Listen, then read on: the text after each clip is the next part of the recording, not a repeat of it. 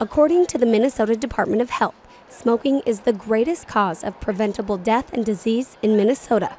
And while studies have shown that the number of adults lighting up is declining, even more education is needed to continue this trend. Direct smoking rates um, with cigarettes have gone down in Minnesota and nationally over the past few years. And we've also seen a rise in policies that protect people from secondhand smoke. For example, smoke-free workplaces and bars. We're seeing smoke-free parks um, as well. But unfortunately, one of the places that we're not seeing um, as much progress made and we're still seeing people exposed to secondhand smoke is in their own home, uh, specifically multi-unit housing. So for example, apartments and condominiums as well.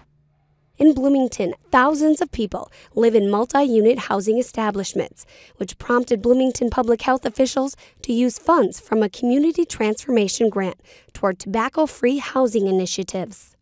The Live Smoke Free program uh, is a program of the Association for Non-Smokers Minnesota, and we work uh, with renters who have concerns about secondhand smoke coming into their unit from somewhere else in the building.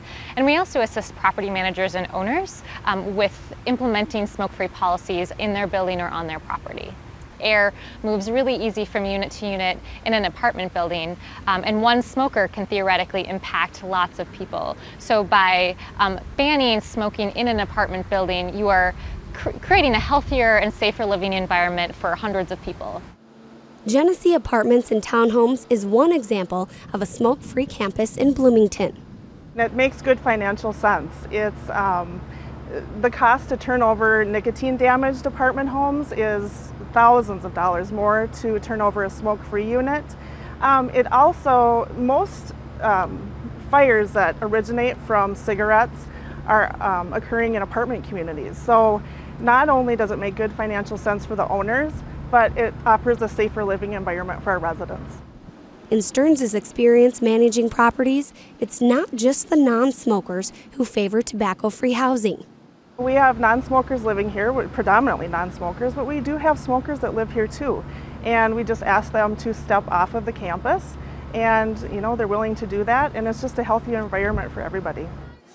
Change is in the air. It's time to breathe happy and live healthy. I'd encourage anyone who has questions or would like to get um, involved to visit our website at mnsmokefreehousing.org or they can call uh, our office directly and that number is 651 646 3005.